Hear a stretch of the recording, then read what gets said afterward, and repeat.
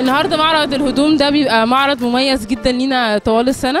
ان إحنا بنقدر نشوف قد إيه الناس بتبقى سعيدة بلبسها اللي هي داخلة على العيد. فلما نشوف فرحتهم بان هم بيشتروا لبس جديد بالنسبة لهم باسعار رمزية دي حاجة كبيرة قوي بالنسبة لنا. وفرحتهم هي فرحتنا أصلا.